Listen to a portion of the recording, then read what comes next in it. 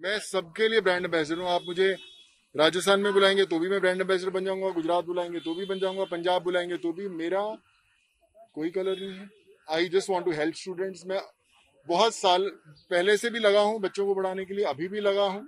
हम सिर्फ़ दिल्ली में नहीं बच्चों को पढ़ाते, हम देश भर में बच्चों को पढ़ाते हैं। आप कहीं से भी बुलाएँगे कोई भी सरकार मुझे बुलाएगी हेल्प करने के लिए बच्चों की so I am there for them और मैं आई मेक श्योर कि वहाँ पहुंचूँगा। ट्वीट के ज़रिए आपने जो संदेश जो है इनकम टैक्स की आपकी तरफ़ लोग आए और कई लोग कह रहे हैं कि सिर्फ़ इसलिए क्योंकि आप दिल्ली के ब्रांड एम्बेसडर बने। नहीं नहीं कोई ऐसी बात नहीं आई डोंट बिलीव और मुझे लगता भी नहीं कि मुझे इस चीज़ों के बारे में सोचना चाहिए उससे बड़े मुद्दे आपने देखा ही है। यहाँ पे इतने लोग खड़े हुए आई थिंक वो एड्रेस करना ज़रूरी है। ये तो ठीक है ये तो समय है चलता रहेगा ये भी बीत जाएगा दूसरा समय आएगा but I think this is more important आपने आपने किया है, उस important ट्वीट के ज़रिए आपने- मतलब चैरिटी फाउंडेशन के 19 करोड़ की बात की जो जुलाई से लेकर 2020 तक अप्रैल तक जो 19 करोड़ पे जमा किए उसमें सिर्फ़ लोगों की सहायता के लिए सिर्फ़ दो करोड़ थे जो सबसे बड़ा सवाल आज यही उठा है कि 17 मैं एक छोटा सा बताता हूँ देखो मैं I was not supposed to speak पर मैं एक सिंपल चीज़ बताता हूँ।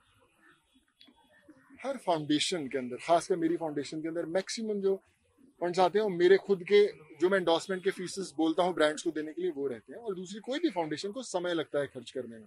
ओवरनाइट नहीं होता। और एज पर रूल्स ऑल्सो जो एक, डेढ़, दो साल जितने समय लगते हैं, उतने हमारा भी प्रोसेस भी आप देखेंगे, और कम हो जाएँगे इसमें। कल देखेंगे, और कम हो जाएँगे। जब कोई बंदा मेहनत से एक रुपया भी देता है तो आपकी रिस्पॉन्सिबिलिटी होती है कि वो सही जगह पर जाए। वो उन्होंने कंधे पे हमारी ज़िम्मेदारी दी है। एक अंधी लड़की तीन हज़ार रुपये अपनी पेंशन मुझे महीने की अगर उसने दी है एक दफ़ा तो तीन हज़ार मेरे लिए तीन करोड़ के बराबर है। आई टू मेक श्योर कि वो सही जाए। हर फाउंडेशन में टाइम के हिसाब से खर्च होता है, जैसे जैसे जरूरतें बढ़ती हैं।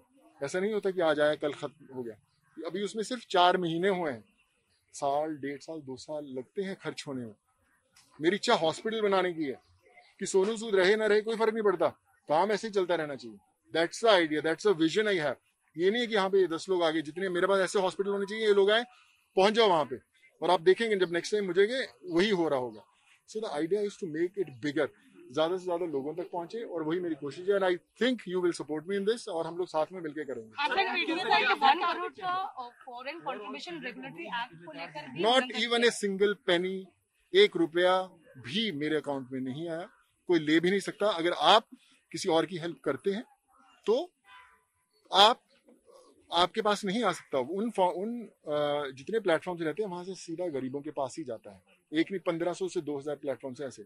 मिला इम्पैक्ट हर जो हमारा रेज हुआ है फंड वो हिंदुस्तान भी नहीं आया। वो भी अमेरिका में, अगर हम किसी को मेल लिखते हैं कि भैया इसका ऑपरेशन कराओ तो वहाँ से डायरेक्टली जाता है। हमारे अकाउंट में, हमारी फाउंडेशन के अकाउंट में, हमारे किसी प्रधान में, ना तो हम ले सकते हैं और ना कोई भी ले सकता है। So it's all all the documents have been given और ऐसे ही चलता रहेगा। थैंक यू सो मच यार। And I will I meet you all personally यार God bless you thank you so much love you all thank you